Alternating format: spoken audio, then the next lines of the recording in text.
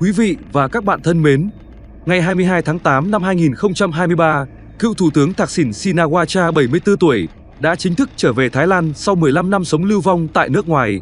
Ông Thaksin đến trình diện tòa án tối cao Thái Lan và bị tòa tuyên 8 năm tù liên quan đến 3 vụ án. Sau đó ông Thaksin được đưa đến nhà tù tạm giam Bangkok, nằm ở quận Chatuchak phía bắc thủ đô Bangkok. Thuộc khu phức hợp nhà tù Klong Prem, ông Thạc Thaksin bị giam trong một phòng không có máy lạnh và đang được theo dõi sức khỏe chặt chẽ, được bố trí không gian để gặp khách đến thăm tù. Khu phức hợp Long Prem có 8 tòa nhà, khuôn viên rộng hơn 4,5 hecta, nằm trong tổng diện tích 23,5 hecta. hiện tại đang giam giữ gần 4.000 tù nhân. Tại quốc gia Thái Lan, cơ sở này là một trong những nhà tù được mọi người biết đến nhiều nhất, bởi đây là nơi giam giữ rất nhiều người nổi tiếng, từ các vị chính trị gia cho đến các phạm nhân quốc tế chống dẫn độ. Một trong số đó là ông Victor But, một tù nhân người Nga khét tiếng, được mệnh danh là lái buôn tử thần, ngồi tù từ năm 2008 đến năm 2010. Nhà tù giam những bị can đang trong phiên xét xử tại tòa sơ thẩm hoặc đang chờ xét xử tại tòa án phúc thẩm hay tòa án tối cao. Sau đó, một số tù nhân sẽ được chuyển đến nhà tù trung tâm Klong Prem, cách đó khoảng tầm 500 mét.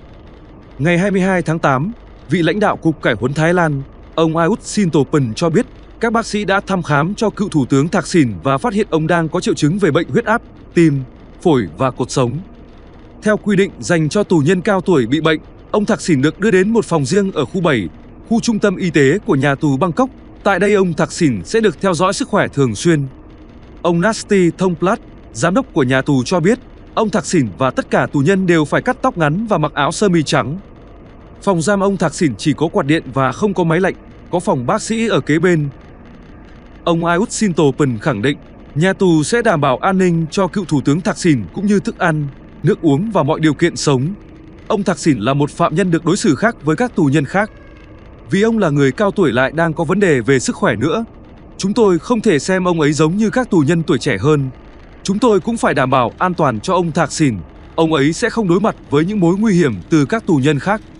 Có nhiều tin đồn đoán rằng cựu thủ tướng Thaksin muốn thời gian ở trong tù càng ngắn càng tốt.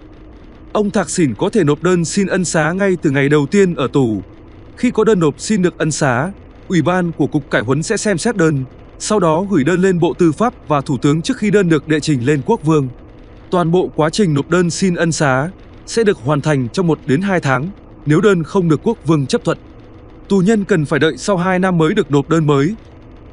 Dù chưa rõ ông Thạc Sìn sẽ phải ngồi tù trong thời gian bao lâu, nhưng có một điều rõ ràng là ông Thạc Sìn luôn nhận được sự quan tâm từ những người thân trong gia đình, bạn bè, cộng sự và nhiều tổ chức sẽ thường xuyên tới thăm.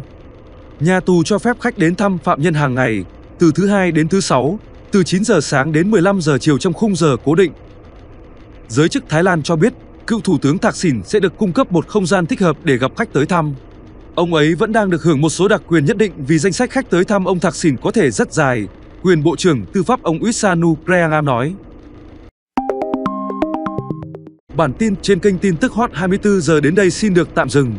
Nếu quý vị và các bạn thấy nội dung video hay xin hãy nhấn like, bình luận và chia sẻ. Quý vị và các bạn nhấn đăng ký kênh và nhấp vào biểu tượng chuông dưới góc phải màn hình để nhận được thông báo những video tải lên mới nhất. Cảm ơn quý vị và các bạn.